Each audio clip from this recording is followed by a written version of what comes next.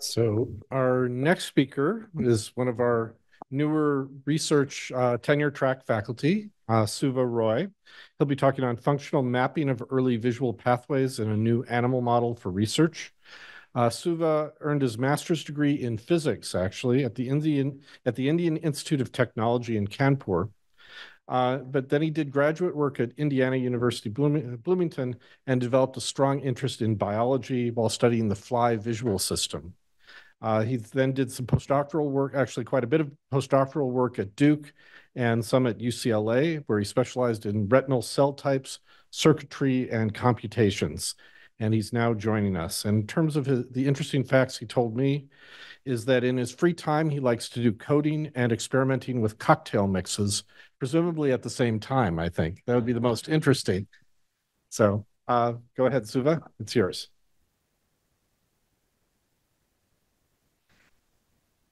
Thanks, Paul, for that introduction. Uh, so there have been some fantastic talks and sort of sets the stage for what I'm about to talk about. And I want to change the perspective a little bit from, you know, the the idea of diagnosing glaucoma or, or as a matter of fact, any other disease to understanding what goes on inside the retina, particularly the different cells and how they connect and what happens to those connections. Uh, so as, as I was uh, talking about, so uh, I want to turn uh, the attention a little, a little bit toward retina and the cells that, that comprise the retina. Um, so when we think about the, the impact of a retinal disease, whether it's glaucoma or RP or AMD, uh, if you look at the response of patients when they go into a clinic, uh, the responses do not necessarily tell you about something that is immediately happening in the retina, but maybe something downstream that's happening in the brain, uh, in the visual cortex, or any of the uh, subcortical areas that receive the, the, the retinal output. And so I want to begin with that uh, discussion because it's important to think about the different pathways, both that are present in the retina and, and, and the pathways that uh, exist uh, outside the retina. And so uh, for the general audience, uh, when we look outside, the light enters our eye. Uh, the lens focuses the image at the back of our eye onto the retina where the light gets absorbed by photoreceptors. It gets converted into electrical signals, gets processed within the retina, and is then converted into spike trains, which is then sent to different brain areas. Now, there are both pathways within the retina and pathways outside the retina. And as have been pointed out in Zach's talk and a few other talks, that you know degeneration can happen both within and outside, and perhaps at different points. Uh, and so for me, the interest has been uh, mostly on focused on the retina, but uh, recently I have uh, pursued sort of this uh, projection patterns from the retina to these subcortical areas and trying to sort of parse out these different pathways in the context of visual processing as well as also for disease progression. And I'm highlighting two areas here, the LGN and the superior colliculus. These are the two main areas that receive bulk of the retinal output. Now, I'm going to touch on these two areas, but I want to start with the retina. Of course, we know these are the major cell classes within the, uh, within the retina, and you have this beautiful structure. Uh, so my apologies to folks who are, uh, you know, uh, studying the glia and astrocytes. I'll come to that, but they are also important. Uh, but if you think about the organization of the retina, these are the main uh, neuronal classes that comprise the retina, at least in terms of the uh, circuitry. And if you think about each of these classes, these classes can be described, these, these can be categorized into multiple subtypes. And there have been a lot of techniques that have been developed over the last 10, 15 years uh, to sort of parse out the different cell types belonging to a particular class. And these uh, rely on gene expression, on the structure, as well as their function. And so here is an example of a UMAP based on uh, single cell sequencing of mouse retina. And each of these clusters represent a particular type. The color represents the class, And you can appreciate that there are many, many types. As a, as a matter of fact, in the mouse retina, there are about 63 types of amacrine cells and about 45 types of retinal ganglion cells. And of course, on the right, you have some illustration of the different uh, structures. So, but of course, the number of cell types are not conserved across different species. And again, I'll, I'll come to that point, but it's important to think about the diversity of cell types within the retina.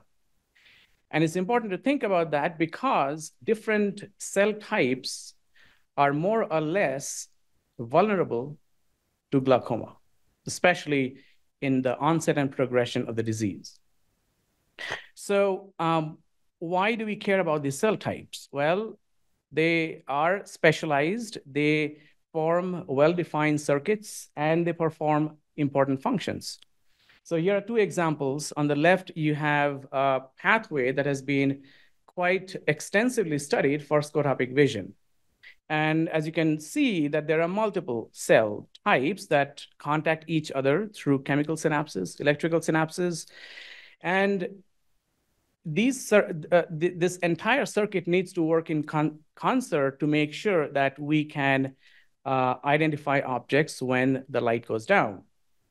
On the other hand, when we walk into a bright room, there is an increased uh, uh, uh level of dopamine in our, in, in our retina. And again, there is a complex circuitry that's involved in how dopamine modulates the, the, the responses of individual cells. And so I'm just showing two circuits, and there are many, many circuits within the retina that are involved in a variety of uh, functions, uh, such as uh, detection of light to detection of motion. Now, let's switch the attention to the two areas that I focused on. So these are the two major visual hubs. And these, so the, uh, the, the output of the retina are primarily directed to the LGN and the SC, so in short, the superior colliculus.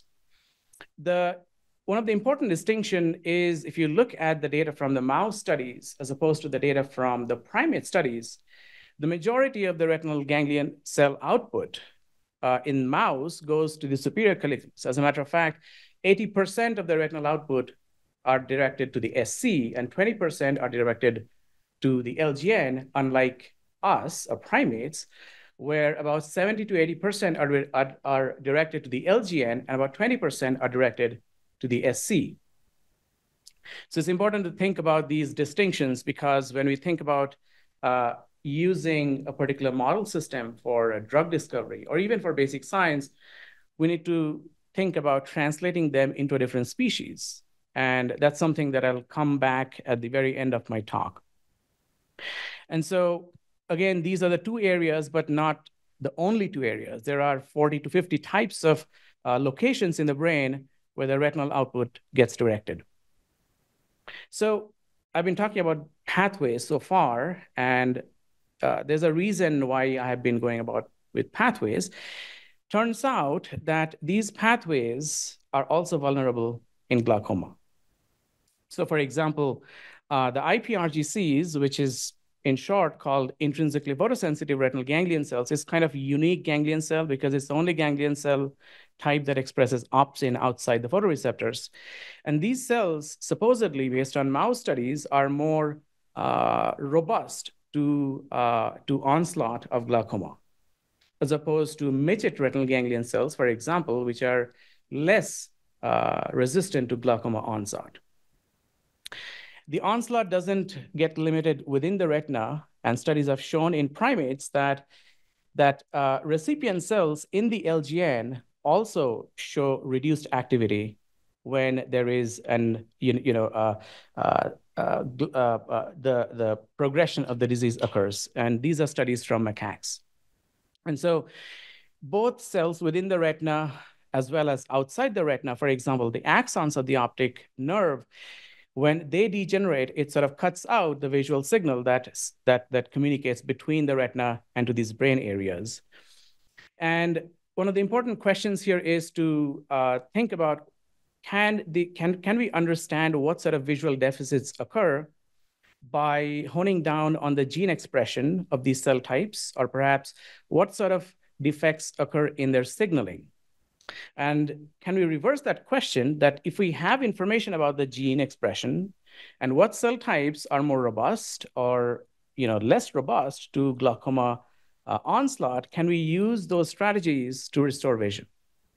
And one of the consortia, the Restore Consortium, actually has this initiative already going on for several years now to restore uh, uh, functions of retinal ganglion cell and as, as well as uh, uh, uh, regenerate the axons of the optic nerve. And over time, that's one of the forms of degeneration that happens in glaucoma patients.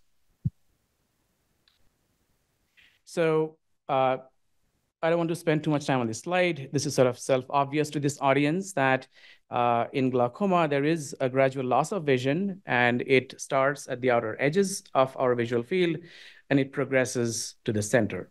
Now, IOP is one of the major risk factors, but it's not the only risk factors because there are other forms of glaucoma that are independent of IOP. But in all forms of glaucoma, the common outcome is that retinal ganglion cells are injured and they die. And so uh, it's a it's a good strategy to target the retinal ganglion cells as both studying what what forms of uh, visual deficits occur and also perhaps to find ways to restore functions in these ganglion cells. The problem is that there are not one pathway. There are hundreds of pathways.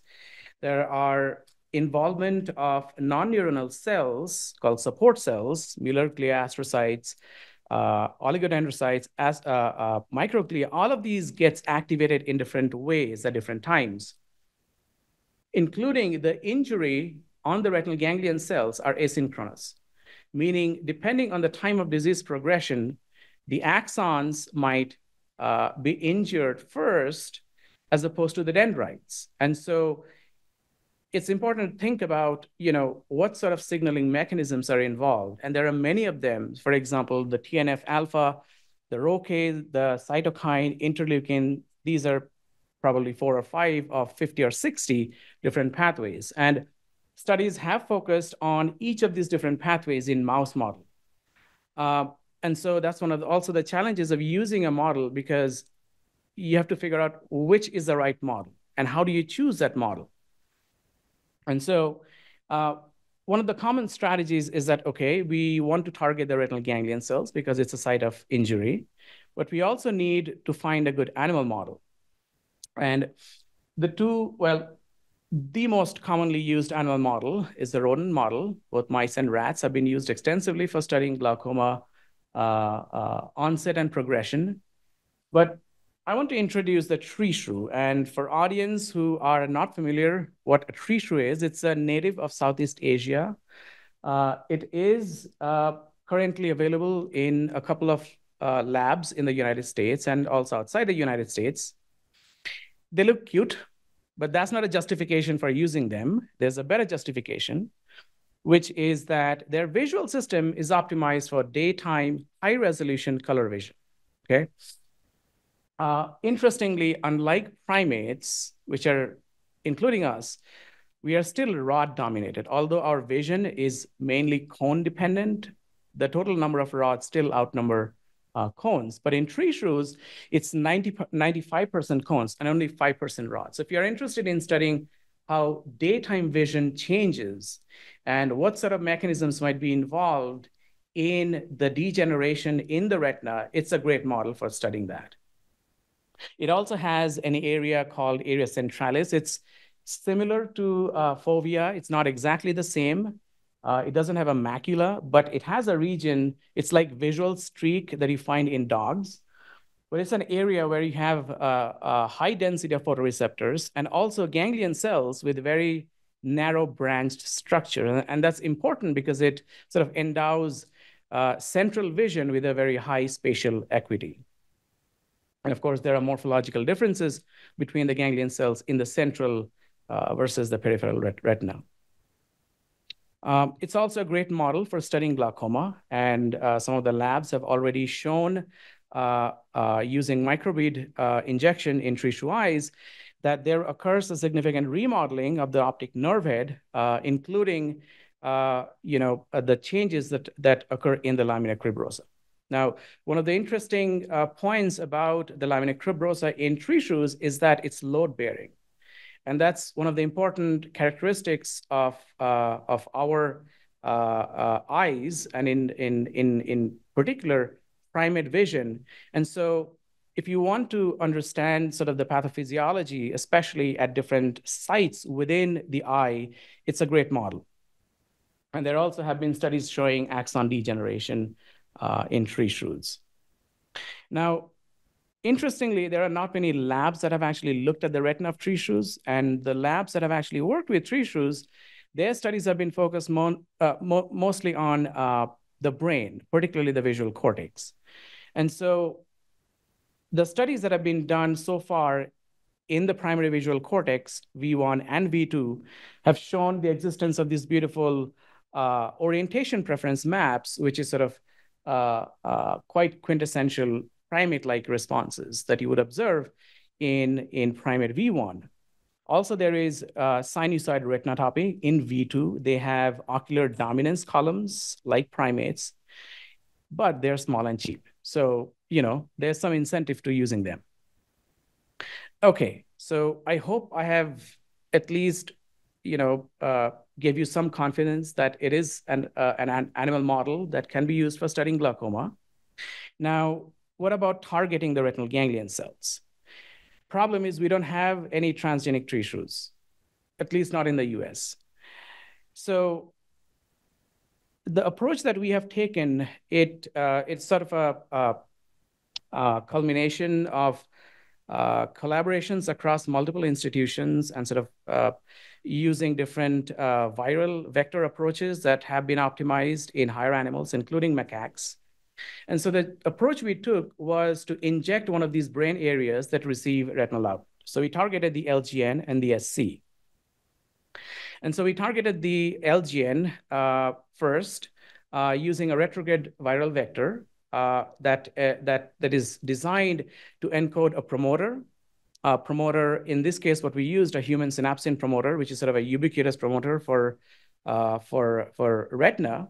And then we added an actuator protein, uh, which in this case, it would be channel rhodopsin, but you can actually change that to a drug of interest or even a chemogenetic construct.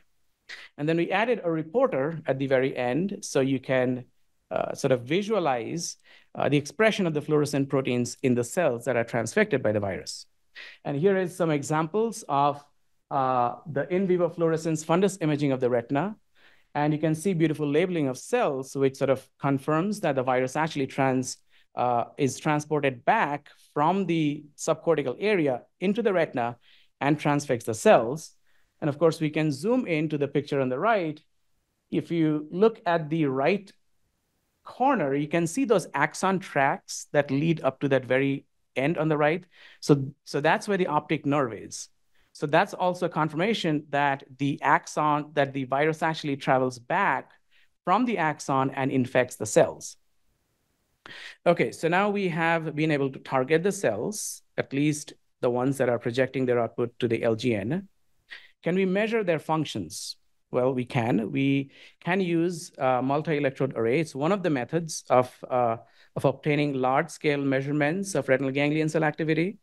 So we can take the eye out and take a, cut a small piece of retina and put it on an array with the ganglion cell in, in, in close proximity to the arrays and present a variety of visual stimuli.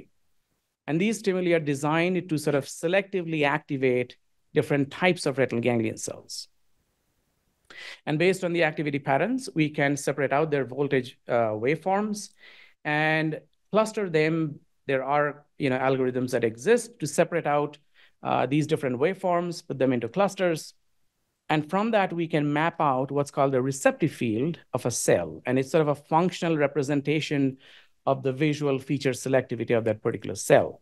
And it's sort of classical, either on off or off on receptive field, either it's on center or off center.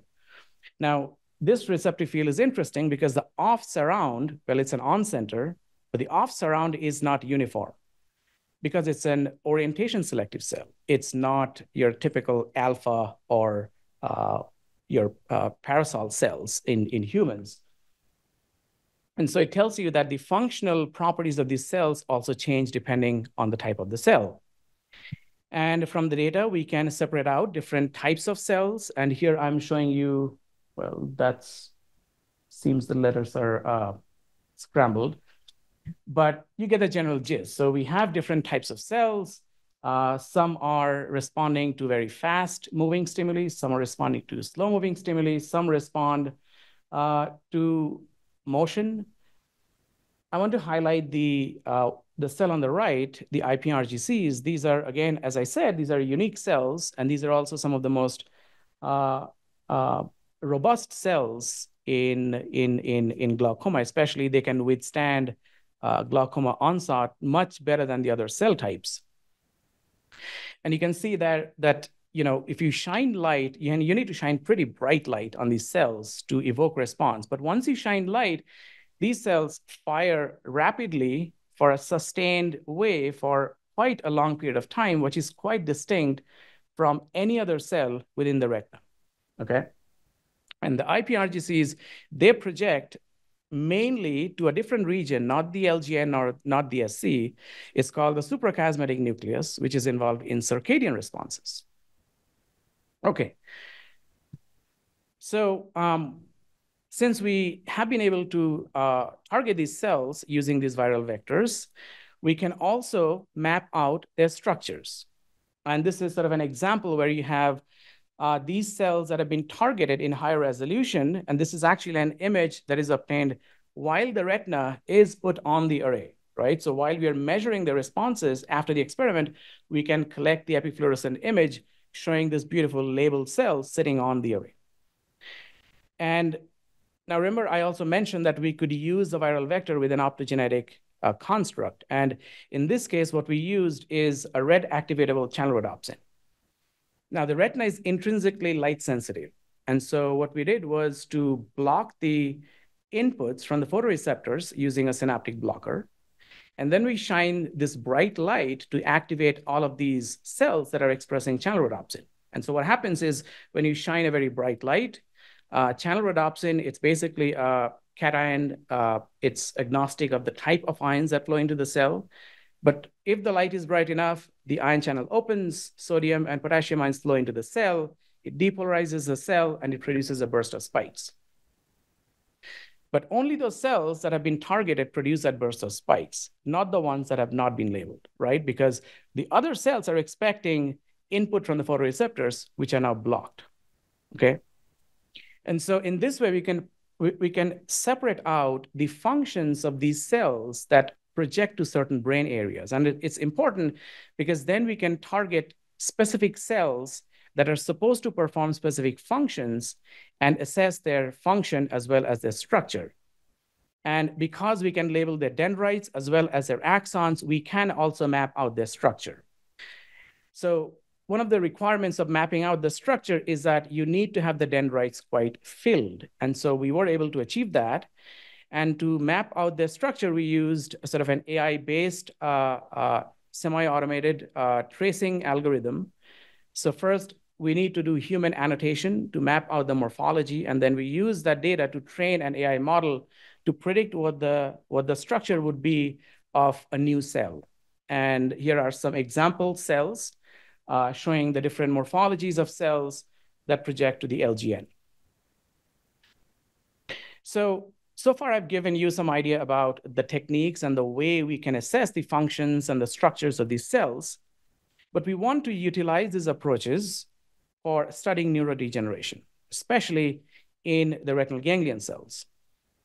Uh, and this is something that I'm uh, sort of establishing in my lab, and I have collaborations both within the institute and outside Moran, where we are trying to sort of optimize these different techniques to be applied in both mouse, tree shrew, marmoset as well as in macaque models uh, of, of neurodegeneration. So here's sort of the uh, general sort of arc where you can use the model, you can, uh, you can use viral vector-based approaches to target cells that project to a certain brain area and then induce hypertension. And there are different models you can use to induce hypertension. You can do an in vivo assessment to assess the structural and the functional deficits in the in the in the in the retina. And then you can look at the retina and assess if there are functional deficits within specific cell types. And then you can go back and look at the brain and map out what happens to the regions where you have injected the virus. But this also opens up a new opportunity because if the viral vector, and again, these viral vectors have to be optimized for certain animal models, if you can optimize it for a model that shares its genome with us, as opposed to a different species, there's a higher likelihood you can use those constructs for a gene therapy that might better translate to humans. And so one of my goals is to use tree shrews and also collaboration with Zach and Alessandra and other folks to figure out sort of these uh, the right constructs and the right serotype, the right capsid design, and the right uh, promoter to target retinal ganglion cells of certain types so we can assess their functions uh, or the functional deficits in the early stages of degeneration. And of course, use similar constructs to design gene therapy-based approaches. Now, one of the points that I want to highlight uh, is what happens to the inner retina. Okay. Now, in, in diseases like RP, where photoreceptors die, uh, there occurs a lot of remodeling. And Brian Jones has done a lot of work on retinal remodeling in RP. But what happens when retinal ganglion cells die? You would imagine that you know the presynaptic cells and the circuits should be fine, especially the photoreceptors. And that's something that I don't have an answer to, but I would like to know. So the retinal ganglion cells receive their input from presynaptic neurons, which are called interneurons, uh, and they comprise of two major classes, the bipolar cells and the amacrine cells. And the bipolar cells and the amacrine cells, they work in concert depending on the, you know, the, the type of circuit using different types of uh, molecules, such as uh, uh, GABA and, and glutamate and acetylcholine to sort of shape these specific computations at these, at these synaptic sites. So what happens if the dendrites get pruned, okay? You would expect that perhaps the bipolar cell terminals also retract. If they don't, then what happens to the dumping of glutamate when you shine light on the retina? Is there sort of a, a compensation in the inner retinal circuits as a result of pruning of the dendrites? And so uh, I have been working on also developing custom designed light sheet microscopes that could do live imaging of the retina to measure the dynamics of neurons that are presynaptic to the retinal ganglion cells at the resolution of individual uh, dendrites. And so uh, these are some of the approaches that we can use to not just study you know, what happens in the ganglion cells and in the downstream areas, but also what happens within the retina. And also more importantly, the time points uh, when those changes occur. And so uh, uh, with that, I'd like to stop and uh, acknowledge uh, folks in my lab uh, Franz, uh, who is my faculty advisor, and uh, uh, a number of external collaborations. And one of the things that I have been pushing is to um, develop some of these techniques that could be translated to macaques. And I have ongoing collaborations to test some of these viral vectors uh, and specifically to test cell tropism, uh, immune responses in higher animals. And again, I see opportunities to test some of those ideas uh, in marmosets with the with with collaborations. And finally, uh, thanks to NIH for funding the work and to the audience. So happy to take questions. Thanks. Thank Well, I'll introduce our next speaker, who is Caroline Garrett, who uh, earned her Doctor of Veterinary Medicine degree from the Ohio State College of Veterinary Medicine. Uh, we have a few other Buckeyes here, I think. If you're a Buckeye, raise your hand. Do we have no one else, they're not here right now. Dr. Petty's one, Mubarak's one. Um, and then uh, she completed a postdoctoral residency in laboratory animal medicine at Johns Hopkins and uh, recently joined our faculty. She also serves as a senior clinical veterinarian in the Office of Comparative Medicine here. Uh, her interesting fact outside of work, she's an avid indoor and outdoor rock climber. So uh, thank you, and, and thank you for speaking with us. Great. Uh, thanks so much for the introductory, uh, Brian. Uh, I hope nobody minds. This will certainly be the most preclinical uh, lecture of the day. Um, as Brian said, I am a clinical veterinarian in the Office of Comparative Medicine, and I have been now for three years here at the U. Um, and I did just join uh, Moran as research faculty this past July. Um, and I'm really excited to have this appointment because, um, in addition to providing preclinical veterinary care and programmatic oversight to OCM, I do have my own primary research interests that date back to um, work that I began at Johns Hopkins, um, as well as um, several different uh, support efforts with researchers here at the Moran, as well as across other um, departments here at the U. Uh, so at this point, uh, the majority of clinical care I provide is to uh, larger species, namely sheep, swine, and non-human primates, specifically macaque and marmoset monkeys. Um, my typical care practices are comparable, if not analogous, to usually what standard of care would be for our human patients. Um, most of the animals um, that I oversee cost uh, thousands or even tens of thousands of dollars to purchase. Um, typically, they have lead times prior to their arrival of anywhere from six months to multiple years, as in the case of macaques. Um, typically, once they arrive, um, they have a considerable amount of investment, both on my part as well as that of the investigators in their labs, both financially and uh, time commitment wise. Um, and just to give you some examples of the types of cases that I see, um, here at the U, uh, we do have a very robust colony of uh, marmoset monkeys that we've already mentioned several times today.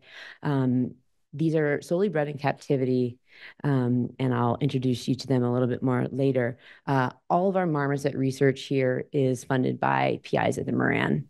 Um, in addition to marmosets at Johns Hopkins, we also bred owl monkeys and squirrel monkeys, as well as two different types of macaques, all for NIH-funded neuroscience studies. Uh, the female owl monkey in the center is recovering from um, a C-section that was required, an emergency C-section uh, to remove a fetus that was in breech. Uh, luckily, we were able to perform the surgery and remove this fetus, but um, reproductive uh, complications are relatively common in preclinical research, uh, particularly with certain species of primates. Um, because we do have marmosets here that can live five to 10 years and macaques that can live 10 to 20 plus years, um, I do manage uh, quite a few conditions associated with old age. Um, this could be anything from um, fairly severe dental disease and arthritis uh, to various forms of neoplasia. Uh, that picture on the top right is actually about a 20 year old pigtail macaque. These are used a lot for um, SIV, HIV research uh, that required a fairly extensive, about three centimeter long uh, root canal and filling, um, following a slab fracture to his tooth, which we were able to fill. Um, despite having state-of-the-art enclosures, um, as well as a systematic process for pairing uh, lab animals, injuries are unfortunately rather common that require uh, surgical repairs. Um, the pigtail macaque on the bottom right uh, actually had a complete uh, fracture to her radius and ulna uh, that I applied a compression plate to. Um, unfortunately, uh, because she was just a young juvenile, uh, she tolerated that type of um, casting that was required, but um, most of the time, non-human primates don't tolerate this uh, sort of thing, um, nor do they tolerate any sort of external suture material. Um, as far as gastrointestinal diseases, this could be a lecture in of itself for me. Um, one of my primary areas of research focus at Johns Hopkins, where we had a, colony of over 200 marmosets, was uh, both the early detection and also the chronic management of inflammatory bowel and secondary metabolic bone disease. Um, these are unfortunately um, captive marmoset phenomena that are experienced internationally. Um, we are very fortunate here um, at the U. Our colony has an extremely nat uh, low naturally occurring incidence rate. Um, and this is in comparison to other institutions in the United States, as well as to colonies I visited in both um, Germany and in Japan. Uh, I heavily rely on uh, a variety of imaging and diagnostic modalities in my day-to-day -day clinical practice and also su support our research here. Um, because we do breed marmosets here, I spend a lot of time uh, performing ultrasounds, uh, not only to track fetal health, but also to uh, stage their pregnancies, uh, very similar to uh, women. Uh, I perform quite a bit of blood work as part of my screening before I accept particularly primates. Um, also as part of our uh, semi-annual exams on these primates. Again, this is where the clinical investment becomes really um, time consuming. Uh, and I also use a lot of blood work uh, in combination with fecal-based markers uh, to screen marmosets for inflammatory bowel um, and also to track their digestive efficiency. And this is work that I do um, with a collaborator at the Smithsonian. Um, I've been talking a lot about primates, but I also work with several large orthopedic groups here um, who use primarily sheep models to look at osteointegration um, in various coatings over um, certain types of implants. Um, and so for these models, uh, we of course perform quite a bit of intraoperative fluoro, as well as uh, longitudinal radi radiography, as well as CT scans, um, as re are required often for a year or more by the FDA. Uh, we are fortunate here in the U, at the U in that we have uh, the ability to perform advanced imaging on everything from small rodents to very large livestock right here on campus. Uh, where I am primarily stationed in SMBB, uh, we have a uh, micro CT as well as a um, 7TMR that we can use for rodents. And um, now we're also using uh, with our marmosets for some of Zach's work. Uh, over in Research Park at the Imaging and Neuroscience Center, we have uh, multiple 3Ts that we can use for our livestock. I also use them for some of my macaque studies. Um, and this is done usually in, adjacency to our human patients. Um, I greatly enjoy and spend a lot of time um, not only developing but troubleshooting models that require fairly intricate anesthesia and perioperative care. Some of the shorter procedures that I support might last an hour or two if it's a non-invasive imaging study or a minor operating procedure. Um, but the bulk majority of the procedures I support do last between four and eight hours. And this is most of our um, open abdominal and thoracic surgeries, as well as most of our non-human primate uh, cranial implants and um, cranial injections that we use to um, administer various viruses. Uh, I also support, along with the entire lab, uh, anesthetic events that can last upwards of four to five days under anesthesia. These are specifically the um, terminal marmoset neurophysiology experiments uh, that are performed by the Angelucci lab. Um, as part of designing these regimens, in addition to um, considering the animal's health status uh, going into these surgeries and anesthesias, I spend a lot of time working with PIs uh, to identify potential study confounders that could be introduced um, through various drugs and um, techniques. Often PIs are very focused on experimental drugs and test articles, but of course, in particular with large animals, there are a lot of other drugs that we administer them that uh, can pose as research confounders, and I, I want to try to avoid those. Um, a lot of the physiologic support um, that I recommend is based not only on uh, the size of the animal, but it's also its metabolism, um, its ability to be handled uh, awake versus um, with various forms of chemical or physical restraint. Um, and also, and this is uh, actually quite important, um, I can't emphasize enough the uh, availability of the correct uh, monitoring equipment, not only for the species, uh, but also for the model. Uh, the picture on the bottom left is one of their standard setups for uh, the marmoset multi-day terminal experiments. Um, it's a little tricky to see, but the marmoset is already in uh, stereotax. This is about a 400, 450 gram animal. Um, it's attached to a variety of different multi-monitoring equipment. Um, in addition, uh, prior to the start of the experiment, we also uh, perform a tracheotomy via cut down to um, surgically implant a trach tube. This is in contrast to our survival procedures, which are done through just simple endotracheal intubation.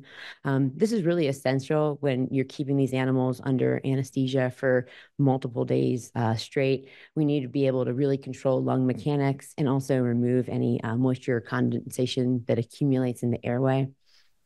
Um, in addition to that, about a year and a half ago, we also started to surgically implant two um, central um, vascular catheters as opposed to um, just day use peripheral catheters. Uh, these add on about an hour or more of time, um, but they're really essential uh, because it allows us to deliver sufentanil as a deep sedative, um, which is imperative for these studies uh, that are looking at neurophysiology. They can't be performed under isoflurane And so um, these catheters are wonderful for that. Um, and they also allow us to um, deliver a paralytic, of course, because um, we have to prevent any ocular movements, as well as standard maintenance fluids um, and dextrose to these animals. Um, a lot of the models I support uh, require quite a bit of longitudinal um, biological data acquisition and sample collection from awake behaving animals. Um, so um, over my tenure, I've become fairly proficient um, at implanting a variety of different telemetry units, primarily for um, cardiovascular research, as well as a lot of indwelling catheters, CNS catheters, and various gastrointestinal sampling ports. Um, a really refined vascular technique that I've been using a lot here at the U um, is shown in the middle. This is specifically in macaques uh, that are trained to present their legs for um, drug administration and uh, blood collection. Um, here, I use a very small incision. Again, these are macaques, and so we want to minimize the size of the incisions um, to implant a vascular access port uh, very similar to what you might use in a human um, and then advance a catheter up to uh, essentially the abdominal vena cava. And these catheters really allow us to, for, for years, um, minimally invasively collect blood and administer drugs. Um, and if they're well maintained, they can last for multiple years. I have macaques SMBB uh, that have been implanted now for going on three years. Um, and they also eliminate the need to uh, put macaques um, in jackets uh, that would protect exteriorized uh, catheters like uh, Hickman's or Broviac's, um, or tethers that protect the catheters um, outside of the animal that connect to um, an admi administration unit somewhere else. And I'll give you an example in a couple of slides of how I've been using these for a current project. Uh, cranial implants, uh, this could also certainly be uh, a lecture in and of itself. Uh, the two on the far right are uh, on marmoset monkeys. These are two very different implant designs that I developed um, with some investigators at Johns Hopkins, um, specifically for auditory research. Um, but I have about a decade of experience um, implanting these both in marmosets as well as in macaques and also uh, overseeing the anesthesia and what can be the uh, fairly long uh, postoperative period for these animals, um, particularly the marmosets. The recoveries are pretty intense. Um, other types of research support I provide, um, every now and then I uh, do have the opportunity to work from the beginning with new investigators um, and uh, completely new models for me. Um, I've had the pleasure over the past half year or so of beginning work uh, with Suva, who um, just gave a really exciting talk on uh, his past and upcoming work with tree shrews. Uh, tree shrews, while certainly an up-and-coming model, particularly um, in the fields of visual neuroscience, still um, are considered uh, not a major commonly used lab animal model in my industry. Um, and so, in addition to really supporting Suva in his research endeavors, I've also been working with Max Planck in Florida, which at least right now will be our major tree shrew vendor supplier, uh, to develop what I hope will be um, a really state of the art care program here um, at the U in the Moran for the shrews. I spend a lot of time uh, working with investigators, not only to write um, IACUC, uh, institutional animal care and use uh, protocols, uh, but also uh, writing grants. Uh, I think for me, it's helpful uh, to be involved in this stage because it really allows me to um, step back and look at uh, specific uh, research aims and objectives and figure out where I, um, as a veterinarian, um, can add clinical value and also uh, support these researchers um, as far as the experiments go. Um, I think it's also very helpful for the investigators, particularly if I'm able to help draft these protocols because I speak the regulatory language. Um, I know what the IACUC wants. And I also attend IACUC meetings. And so I'm able to um, advocate for the research and certainly um, expound upon it when the committee um, has various questions um, I also do a lot of custom training with researchers in their labs beyond uh, the initial onboarding training with tech services. Um, I particularly work with grad students often, uh, not only to make sure they're comfortable with uh, the model and the handling, but also with the more um, nuanced techniques that are often required um, once they have their um, specific projects that they're working on. Um, I also work a lot of labs to um, set up a lot of species-specific behavior training uh, for their animals. Uh, this could be everything from um, uh, positive reinforcement training uh, to encourage animals to voluntarily enter uh, restraint devices, as are shown on the bottom, uh, to more advanced cognitive behavioral training, specifically with macaques, um, as is needed for some of our neuroscience models. Um, I periodically also do provide guidance um, and participate in discussions with researchers, uh, consulting groups, and actually also directly with the FDA, specifically on the animal study designs that are used as part of IND submissions. Uh, my, my background uh, with the FDA has mostly been um, in submission of biologics. Uh, but I find that um, all these discussions and interactions are very informative for me. Um, and each, of course, submission to the FDA is a little different, um, but they really allow me to uh, step back and better uh, advise uh, researchers in academia, not only on designing safety studies, but also designing efficacy studies that may be included in some of these um, submissions. Um, as far as larger programmatic oversight, uh, in 2021, I uh, took over uh, and restructured uh, the UU's non-human primate environmental enrichment and behavior program.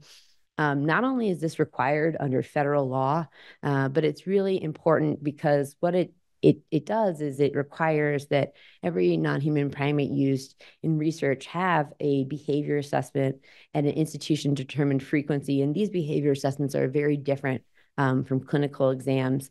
And um, the point of the program is to be able to assess the behaviors and then in turn, um, if their psychological well-being or related needs aren't being met, um, to make the changes for the individual animals um, to promote their ability to stay on study.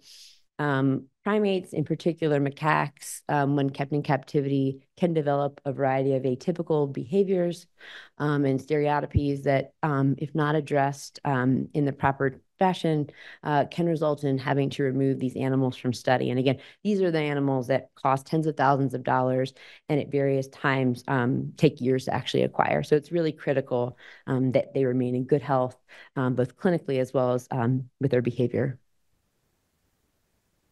Uh, for those of you who uh, weren't at my seminar talk last November, um, I'll introduce you now to our colony of marmosets here at the U. Um, this is an extremely valuable resource that um, I have uh, the pleasure of not only taking care of clinically um, and heavily supporting the researchers who use these animals, um, but I also manage the uh, breeding and um, genetic diversity program for them here at the U. Uh, our colony is over 20 years old now. Um, I'm currently propagating four genetically distinct lines of animals. Um, since I've been here, our colony has near tripled in size. We're now um, more of a medium to large size colony. Um, both our average breeder and offspring age is relatively young, which is uh, really excellent. And of course, our research objectives are uh, to study both visual cortex anatomy and neurophysiology uh, alone and also in combination with um, awake visual behavior. And of course, to continue to develop ocular disease models specific to the marmoset um, that are translatable um, with a heavy focus on glaucoma. Um, and lastly, I just wanted to share um, some of the collaborations that I've began over the past year. Um, in addition to starting work with Zach Davis and his lab here in the Moran, I've also started two new studies um, with existing colleagues in other departments, Jan Kubanek in BME and Dustin Williams in orthopedics. Um, as far as marmoset uh, work goes, Zach and I have quite a bit of uh, complementary and overlapping experience using marmosets uh, for both awake behavior as well as uh, long uh, neurophysiology studies. Um, I've been working closely with his lab over the past year to get two um, IACUC protocols up and running. Um, and we're currently piloting a lot of the techniques in animals uh, that we'll be using uh, in the early um, parts of next year to start his glaucoma neural imaging and cranial implant based work. Uh, I've been working with Jan uh, for several years now uh, to study the deep brain neuromodulatory potential of uh, non-invasive transcortical focus guided ultrasound, uh, specifically in macaques, although Jan also has um, ongoing trials in humans using this modality.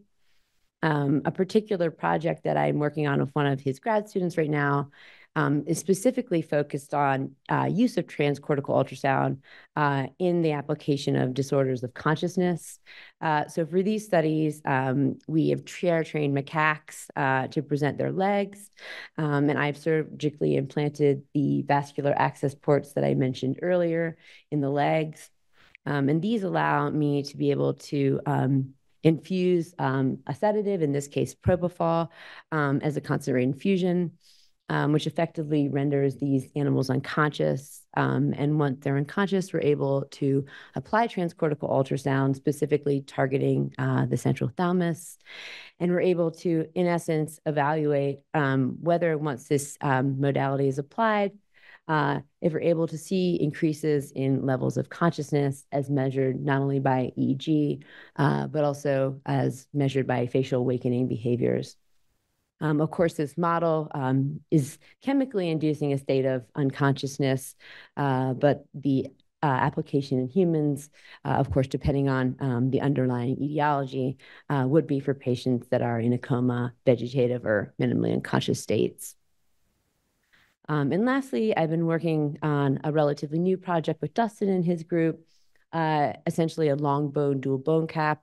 Uh, the clinical indication here would be uh, for patients with below the knee amputations. Um, a lot of these patients, unfortunately, develop uh, heterotopic ossification um, and bony spurs um, proximal to the amputation site, distal to it as well. And this can actually affect overlying soft tissue, increase morbidity and mortality, almost like a compression wound, uh, and uh, preclude these patients from um, being candidates for prosthetics over time. And so, what Dustin's group has developed is a dual bone bone cap uh, that would essentially sit in the medullary canal um, of long bone and prevent um, this type of pathology from uh, developing. And in turn for them, um, what I have developed is a uh, sheep and a swine model, both to evaluate uh, placement of these devices over time um, with the hopes of uh, either reducing or preventing this type of pathology from occurring. And with that, I will take any questions. All right. Um, our final speaker today is Andrew Clark on the optogenetic dissection of neural circuits in the primate visual cortex. He got his mat, um, mat, bachelor's degree at Miami University and his PhD at University of Chicago, uh, where, where he studied circuit mechanisms and direction sensitivity in the macaque visual cortex. Uh, he did some postdoctoral work and then left the bench to become editor of Reviews Journal Trends in Neurosciences. But he's come back to the lab and now is part of uh, Alessandra Angelucci's uh, large group here, studying all of these various primate uh, mechanisms. And uh, he's been a research assistant professor here since just last year, 2023. For his interesting fact, he's fixing up a motorcycle sidecar rig for road trips next summer. so go for it. Okay. Thank you, Paul, for that introduction. Excuse me. So uh, I think I'm quite a bit of an outlier here today. Um, all the talks have been really excellent, um, and everything's obviously been focused towards a translational or explicitly goal aim. And um, I'm just a basic vision scientist, right? So I'm interested in the basic neurobiology of vision. Um, but I, I hope um, that I can convince you that some of the work that um, I've been privileged to be a part of here uh, and uh, in my previous life um, could have uh, utility to those uh, exploring translational um, projects. And I think that the um, the obvious application, given that I'm interested in how um, cortical neurons input wiring generates their visual feature selectivity, would be in the development of a cortical visual prosthesis. So, although I'm not interested uh, in pursuing this work at this time itself, there are many groups uh, using primate models and also doing uh, work in humans um, in which um, subjects or patients who've been rendered blind due to some retinal injury or insult um, are implanted with an electrode array, like the Utah electrode array in this nice recent paper from Eduardo Fernandez's lab um, in visual cortex. And then the idea is that through electrical molecular stimulation in a particular site on the array, we can restore some sort of rudimentary visual perception. Um, and uh, in this paper and those preceding it, um, there was some success with this approach, um, but there was there's also uh, a lot of obstacles that remain. Um, and uh, some of the interesting facets of this data set um, that hit to those obstacles were pointed out in a nice preview um, by some other groups that are working in this field. And um, just really briefly, that is that um, when Fernandez and colleagues uh, simulated at nearby sites uh, along a column within the Utah array, given the known retinotopic organization of visual cortex, we'd expect uh, an induced phosphene where uh, the color of the circle here represents stimulation at the, the Utah array site, that it, it should be orderly uh, and sort of neighborly in visual space, but that didn't seem to be the case. Um, sometimes when they simulated particular shapes in the visual cortex, um, they were labeled to elicit percepts that roughly corresponded uh, to the simulation patterns. And then other times, uh, there was sort of uh, strange perception that didn't really correspond um, to the simulated pattern. Or if they tried to simulate a particular pattern, there was sort of an unknown uh, percept if one was even generated. Uh, so Beauchamp and colleagues argued um, that potential improvements were necessary uh, to this technology before it ever becomes clinically viable. And uh, the three areas that they highlighted um, that might present the most promising avenues were um, everything from electrical microstimulation optogenetic manipulation of neural activity. Um, and then we need to under, better understand the relationship between neural activity and perception in the first place and understand the cortical circuitry that generates visual feature selectivity. So I want to talk about um, really quickly some published work um, that uh, I've been a part of uh, for a large collaborative effort. That first um, sort of avenue that they suggested developing better optogenetic methods for studying uh, these primate cortical circuits and ultimately, hopefully, using them to stimulate uh, circuits in, in primate uh, models or humans in the distant future. Um, and then trying to link cortical circuits to perception. So what areas might we want to simulate to recreate, you know, certain types of visual sensations? And then finally, uh, some unpublished work that is just ongoing right now um, that we've submitted a grant for, looking at using optogenetics to dissect the cortical circuits uh, that maybe generate um, this cortical activity linked to perception. Um, so Suva gave a really nice overview of optogenetics. I'm not going to uh, belabor the points. Uh, the tool's been around for about 20 years now, but it's basically at heart just using uh, light sensitive proteins um, transfected through different molecular genetic means into uh, different neuronal populations to either excite or inhibit neuronal activity, right? So in classical electrical microstimulation, uh, an electrode or electric array is introduced into cortex, and we can apply a small electrical current that activates native voltage gated sodium channels um, and it's going to uh, activate the neurons, just a heterogeneous population of neurons around the electrode tip. So optogenetics offers two um, improvements over these more classical methods. One is we have bidirectional control. We can use different opsins like uh, halorhodopsin to inhibit or channelrhodopsin to excite based on the ionic species that they flux. And then cell type specificity. So based on uh, either um, our viral strategy or in mouse models germline strategy, we can selectively transfect, say, either excitatory neurons or inhibitory neurons to study the actual role of these cell types in the circuit. Um, but in the primate so far, uh, there's been a couple of problems that are sort of unique to these species. Uh, and that is that um, the brain is just so much larger, right? So one surface photostimulation, which is the a typical method for activating um, these opsins, uh, can't reach deep layers of the primate cortex. So we can turn up light intensity, but then that just generates heat artifacts from increases in irradiant heating. Uh, and then the other problem is that primate cortical areas have volumes on the order of uh, cubic centimeters. So if we would use a single penetrating fiber, uh, it provides insufficient coverage. Um, to activate the tissue on a scale likely necessary to, to exert some effect. So to try to overcome these, uh, these problems, um, Alessandra's group, in collaboration with Steve Blair here at the U and some engineering labs uh, in the UK and in uh, West Virginia, have developed the Utah Optrode Array, genetic analog to the Utah Electrode Array. It has the sort of the same uh, design, the same total area and pitch, um, but instead of introducing electrical current or recording electrical signals from the cortex, we can introduce light selectively. So it consists of three basic components, uh, a custom micro LED array that serves as the source, uh, and that's bonded to an optical interposer to shield stray surface illumination. And then that's bonded to a glass needle array. Um, and we can um, vary the, uh, the, the length of these, these needles as well as various features uh, of the shank, like, like diameter and tip profile.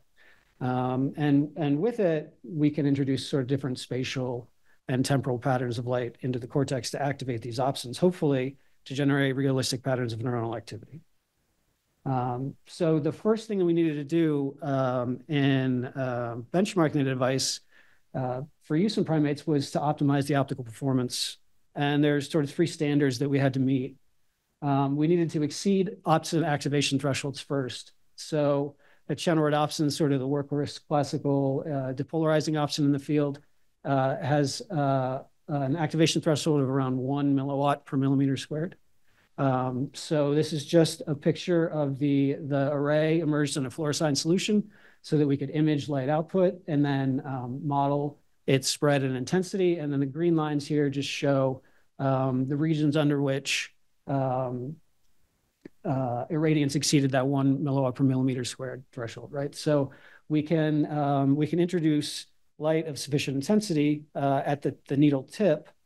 Um, and we can also ensure that it's only at the needle tip with the, that we introduce it. So an early version of the array um, didn't incorporate this interposer layer. It just used a pinhole at the back, the sort of back plane or base plate of the needle array.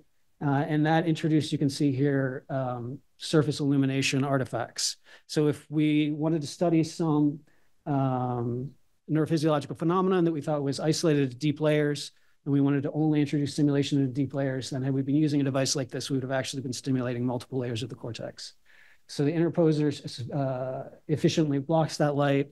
And then we can introduce a thermal uh, annealing process um, after the array is complete to change the needle tip shape. And we found that this changes the spread of light. So um, if investigators want to optimize an array in terms of uh, length or spread of light in the cortex, we can do that. Um, so this suggests that it could be useful as an optogenetic tool, um, but it remained to be tested. So we moved to validation in a macaque monkey model. We um, expressed channel rhodopsin just using a standard uh, AAV viral vector in macaque V1 and excitatory neurons. It was under the control of a CAMK2 promoter. Um, and then we placed the UOA uh, in a region of uh, channel rhodopsin expression, which we could image in vivo um, it's hard to see in this image, but we could confirm it po uh, through postmortem histology. Um, in the region where, where the cells are expressing channel rhodopsin, um, we, we uh, insert the UOA into cortex the same way that the Utah electrode array is inserted um, with a pneumatic inserter device. Uh, and that put the shank tips around layer 4C. And then we made uh, electrical recordings at nearby sites. Here you can see a guide tube that contains a linear electrode array. Um, so just uh, a linear uh, array of electrode recording contacts was introduced into the cortex uh, directly adjacent to the UOA. Um, and we could compare those recordings uh, with that same LEA in uh, channel rhodopsin transfected cortex, in which we're now stimulating V1 with surface stimulation. So in the case of the UOA, this is just a little cartoon schematic that illustrates the experimental preparation. We have the the main layers of cortex, the superficial layer, uh, layer 4C, the thalamic input layer, and the deep layers. Um, and then we have uh, the UOA with tips roughly in 4C and then stimulation or recording throughout the cortical depth. So if we look at neuronal spiking and multi-unit activity uh, across the recording context, so each trace is just the firing rate uh, as a function of time uh, in a one second trial when we're, we're pulsing the UOA at five hertz, you can see that there's an elevated um, activation around layer 4C. uh, and in the deeper layers and a little bit in the superficial layers. So we can do a, what's called a current source density analysis, which is just an analytical technique that lets us try to identify um, the location of hyperpolarizing and deep depolarizing current flow in the cortex based on the pattern of local field potential across the cortex, and that's what's shown here. So the only thing that you need to take away from that is that sinks represent depolarizing uh, current flow, and that's sort of localized in time and space um, to layer 4C, at least initially, before spreading to other layers. So this is in contrast to if we just repeat this experiment um, using surface through stimulation. So here we're recording throughout the cortical layers, but now instead of the UOA delivering light to deep layers, um, we have a collimated optical fiber above the cortex that's just shining light onto the tissue.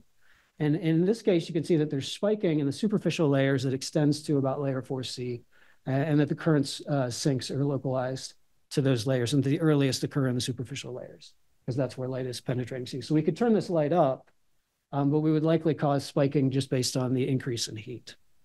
So this demonstrates that we have selective optogenetic access to deep layers, but what we really want is to activate distinct networks.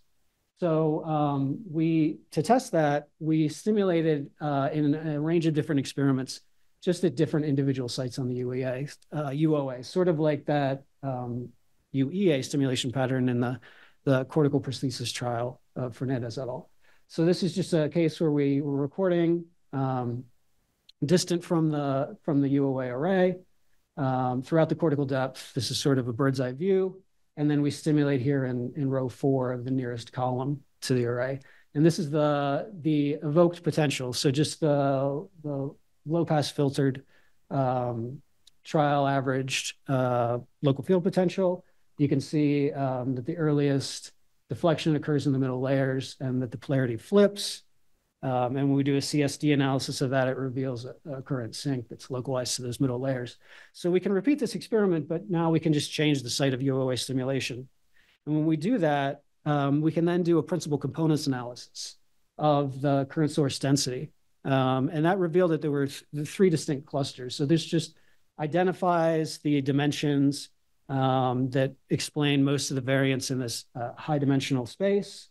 Um, and if we go back and look at those clusters, the data points that represent those clusters that are just projected on the first two principal components here, um, we see that they map really nicely in a correlation matrix onto the, the location where we stimulated.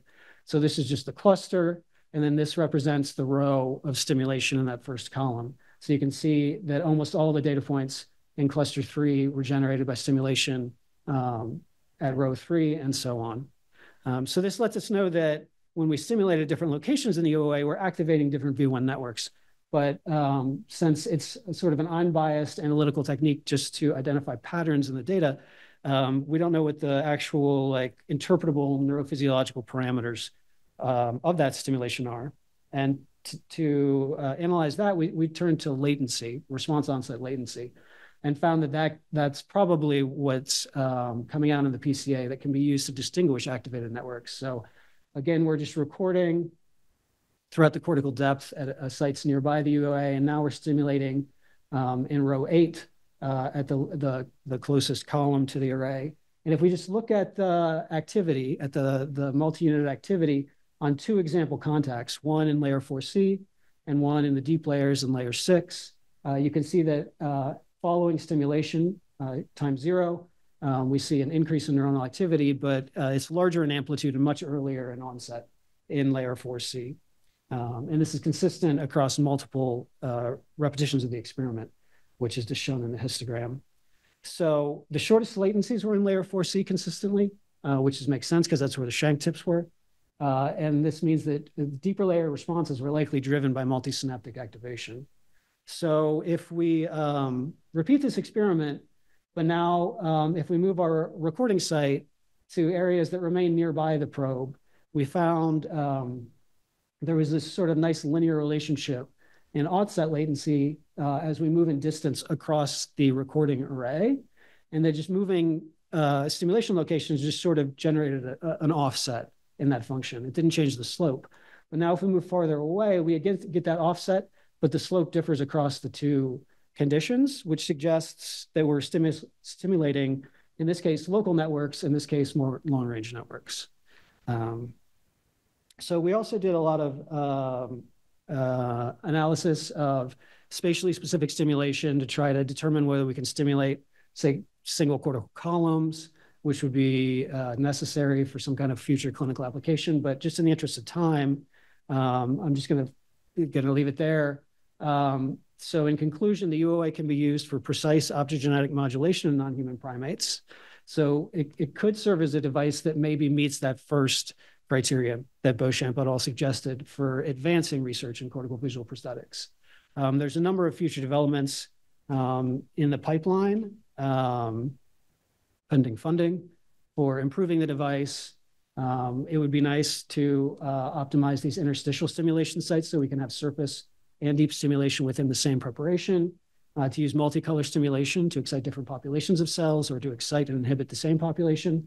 And then finally, it'd be nice to do simultaneous photostimulation and recording. So if we could dope these uh, shanks in a transparent electrically conductive material. Um, so once we have the full UOA, though, the problem still um, exists that we need to know where to place it, right, to generate some kind of uh, a naturalistic visual perception. And um, I know this is um, this is obvious, but uh, it's important to remember that visual perception is more than just retinal process. So um, uh, illusions like the face-vase illusion um, can remind us that perception of a retinal image can spontaneously alternate, right, between two different interpretations. So the cortex um, and the later visual pathways are generating an active interpretation of the constant retinal input. Um, and then this rotating snakes illusion illustrates that um, our visually guided behavior also influences perception. So if typically if we make saccades between different points within the um, the image, uh, most people exhibit a robust perception of rotational motion, even though it's a static image. Um, and that uh, illustrates that the visual system has dedicated circuits for extracting uh, information about motion, right? Um, that we don't actually need uh, movement in the world to generate uh, subjective perception of, of, visual motion.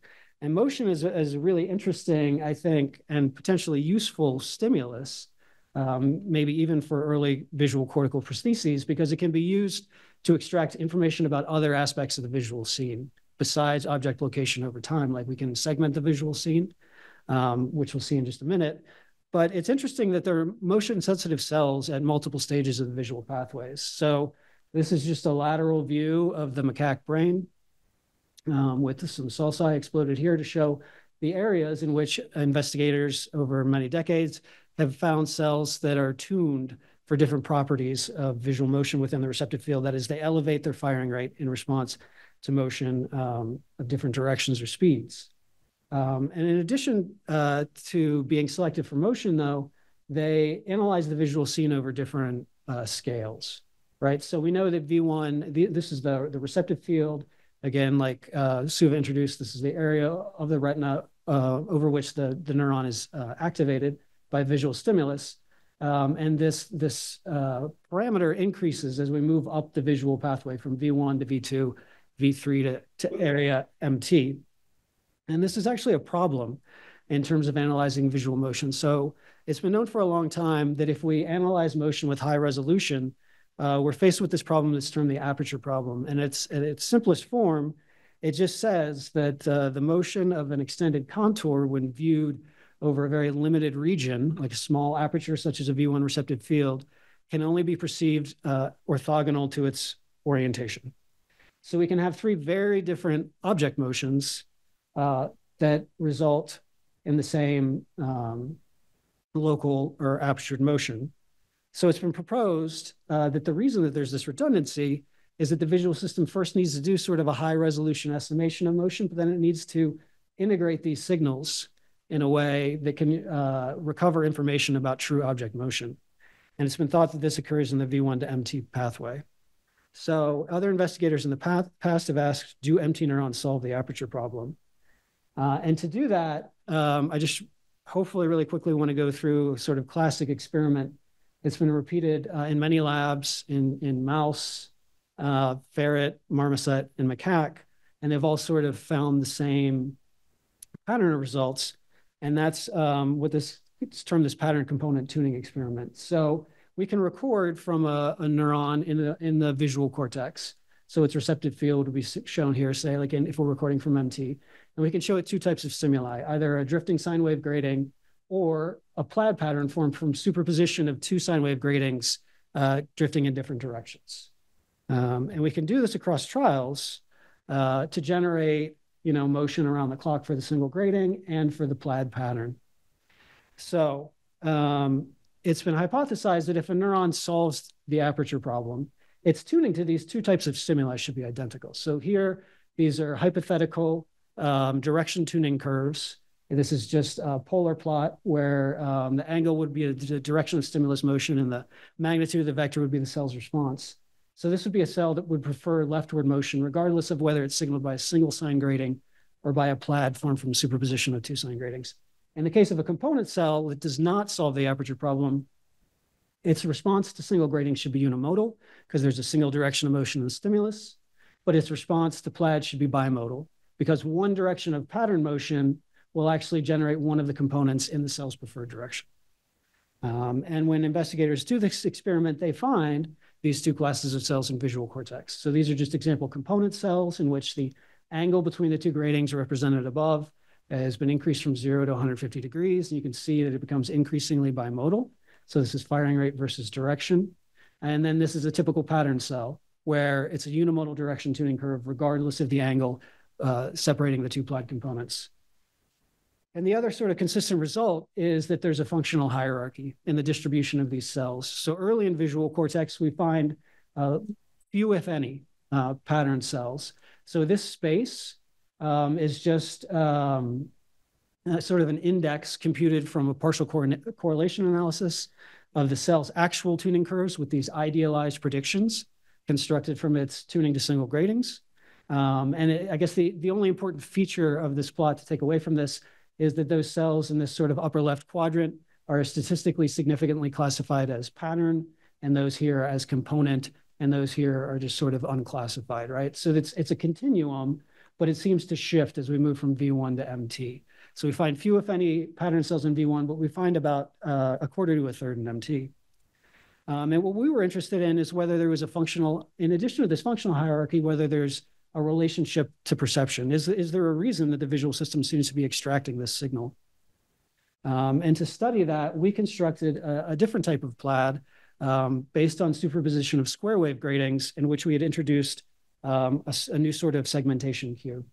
So in this, this stimulus, again, each grating, component grating can move in its own direction. Um, but now we've in, introduced sort of a random dot texturing cue to the light bar phase of every grating. Um, we can vary the contrast of that cue. And we can also vary oops, the direction that it drifts on any trial. It can move in the pattern direction, or it can move in the direction of the component grating on which it's superimposed. So when we do that, um, we should generate two very different sort of qualitative states of perception. As the pattern drifts, we're going to sort of lower the contrast of that cue. I assume everyone's seeing a single plaid pattern moving in a single co coherently in a direction one direction. And then as we lower that cue and then remove it, and then start to drift it in those component directions, now we see something very different, right? Um, we should see two surfaces, one transparently overlaid uh, across the other. So this is sort of, uh, this is a bistable stimulus. Um, and that's what we need to study the relationship between neural activity and perception. If we um, record the spiking activity of cells where we're changing the visual stimulus in every trial, we can learn what those cells are telling us about differences uh, in the visual stimulus. But we want to know for a constant visual stimulus that can be variably perceived, um, how does differences in neural activity relate to that perception? So to do that, we train macaque monkeys uh, to do some psychophysics. So on every trial, the monkey just fixates a point. We're recording from an MT neuron, its receptive field shown here. We can introduce these patterns uh, on trials where uh, the pattern direction change is either upwards or downwards on any given trial, and we can change the sign and strength of that texture cue. So when the pattern is extinguished, the monkey learns it has to make a choice. It can make a saccade to a, a, a target on the top of the visual display to indicate it saw coherent motion, or to the bottom to indicate it saw transparent motion. Um, and uh, after a fair bit of training, um, we found that monkeys can use these texturing cues to segment uh, the plaid motion stimulus. So here I'm plotting psychometric uh, functions from the two animals. Um, this is the probability that the monkey's going to say that pattern was coherent motion versus uh, the sign and strength of the texture cue. So just coherent patterns are randomly assigned positive values and transparent randomly assigned negative values. Um, and from these functions, we can extract a couple of different parameters, right? We can um, find out how much texture contrast generated a 50-50 split, the point of subjective equality, and then we can also figure out um, how much contrast the monkey needed to achieve a threshold level of performance. So um, uh, it was uh, the monkeys were very efficient at the task. They didn't need that much of a texture cue to reliably uh, discriminate the two types of patterns. So they can report their subjective perception of plaid motion. And then we were interested whether MT neurons can also do the same thing. So this is an example cell. This is a direction tuning curve, like a real direction tuning curve, like the idealized ones I showed before, but just in response to a single grating. Um, so this cell uh, is responsive to motion up and to the left. And now when we look at its responses uh, to plaids, either drifting upwards or downwards, um, we can plot the cell's response, its uh, firing rate, as a function again of that sign cue contrast. And we can see that it's sort of monotonically related um, to the sign and strength of that texture cue, but it differs according to the direction of pattern motion. So this neuron with single gratings really doesn't respond to downward motion. And it's, so it shows very little response to plaids drifting in a downward direction and very little difference according to texture cue. But it responds well to upward motion and it, it shows a large difference when we vary the sign and direction of that texture cue. So we can do a receiver operating characteristic analysis, uh, just like Sophia talked about earlier, where now the ideal observer model is just fed the spikes from each cell, and it tries to predict what stimulus was presented on a given trial. So model performance can be plotted as portion of the, the times the model would say uh, the neuron's preferred stimulus was presented versus that sign cue contrast. So when um, we drifted patterns upward, um, uh, it, very little contrast was required for the model to accurately discriminate the two types of patterns. Um, versus when we drifted downwards, it was much poorer for performance. It took almost 100% contrast. So across the population, um, we found that the sensitivity behaved in very similar ways to this example cell. So it was stimulus dependent, and the most sensitive cells um, were as sensitive or more sensitive than the observers. So there's information in MT that could account for the animal's perceptual performance on the task. But we want to know, do those responses actually correlate with perception? So this is, again, that example cell. And now, instead of sorting uh, trials according to the sign of the texture cue, the stimulus is the same on every trial. But the monkey sometimes answered transparent and sometimes coherent. All patterns were drifting upwards and they all had the same texture cue. So whenever the monkey answered transparent, uh, the neuron tended to fire more. And um, we can do that receiver operating characteristic analysis again for this type of data. Uh, and this generates what's called a choice probability. What's the probability we could predict the monkey's choice on a given trial, just given that one MT neuron? Um, and across the sample of cells we recorded from, um, it was it was higher than chance. It was small but significant.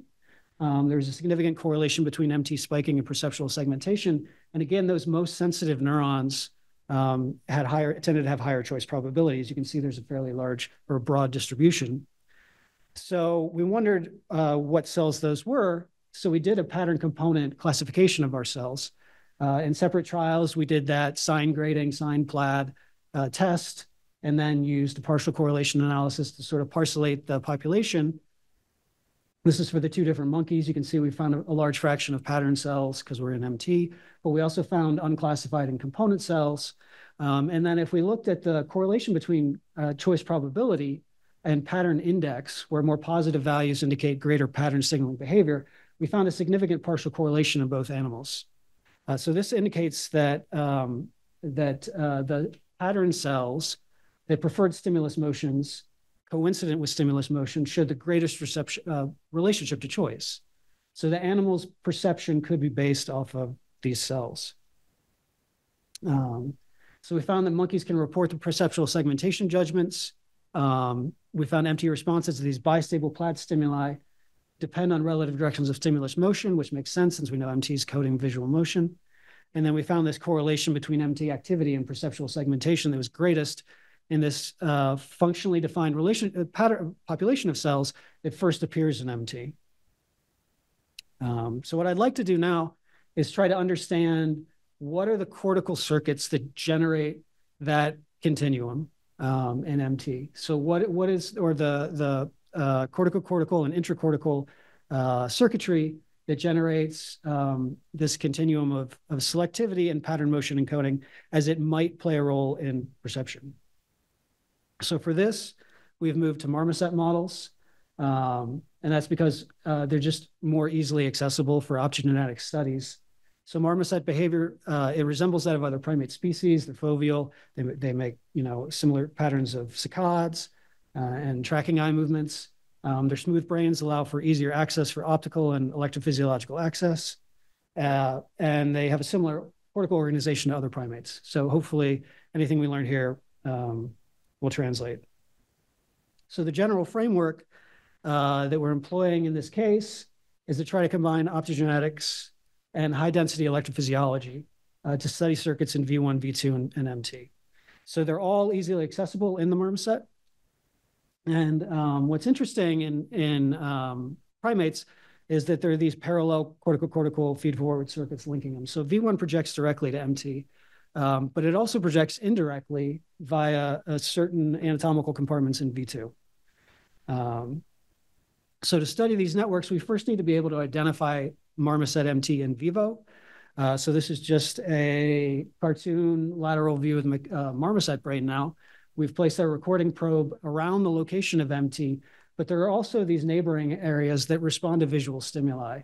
So here, um, the recording sites on the probe are just color-coded according to depth, and we can use several different functional criteria to identify MT in vivo. So we can look at the progression of receptive fields across the recording array. So the, the retinotopy in MT is well known.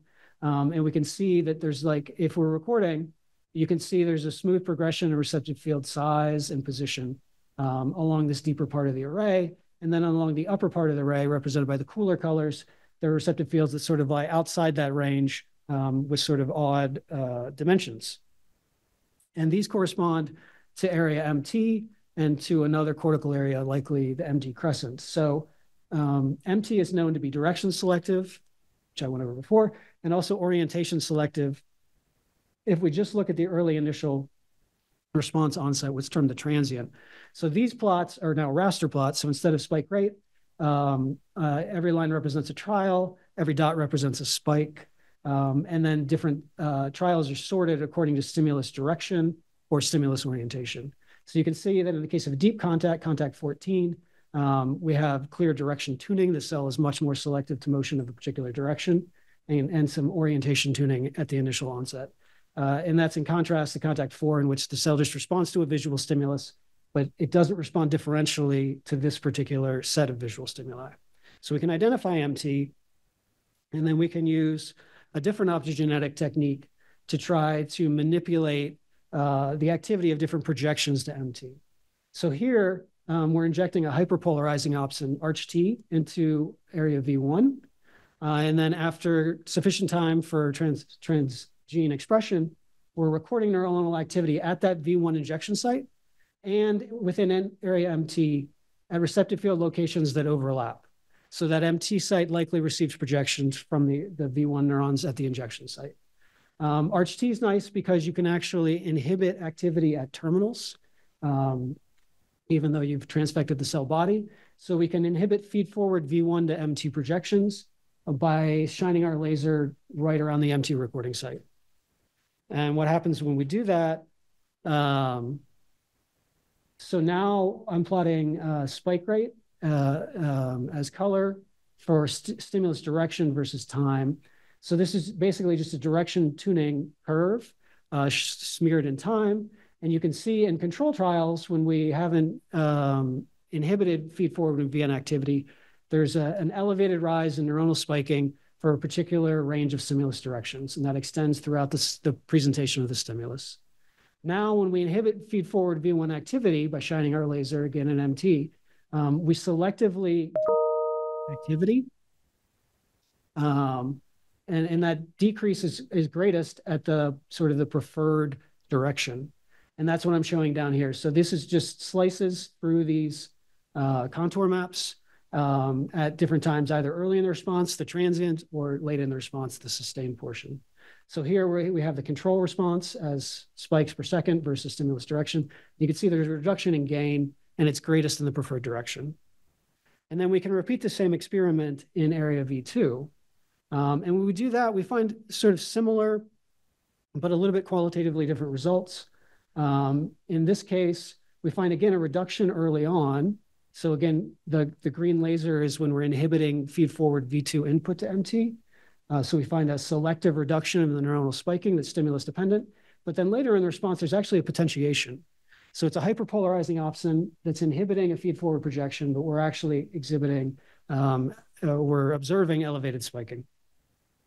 Um, so across a small sample that we've collected so far, um, we find the same sort of effects on tuning, uh, regardless of manipulation. So we can extract two, uh, at least two measures of the cell's tuning curve, a direction index. How well does it respond to its preferred direction versus its least preferred direction? And then bandwidth, what's the width of that tuning curve? Um, and then I'm just plotting here the, that metric uh, in the laser condition versus the control condition. You could see early in the response, the points lie below the diagonal, uh, indicating greater directional index, um, greater directional selectivity. Um, uh, in the control case. So we, we've reduced the directional index itself, and then we've also reduced that tuning bandwidth. So it's sort of opposite effects. Um, and what's weird is we see that same pattern when we apply the manipulation to area V2. So based on the changes in gain, we know that we're likely um, activating distinct networks um, because we're changing spiking in different ways, but they're having similar effects um, on the way that the area is encoding the visual stimulus. So our hope is to move something like pattern component tuning um, to see whether selective manipulation of these areas can affect um, that dimension. So with that, I'd just like to acknowledge uh, my collaborators for the various projects and thank you for your attention.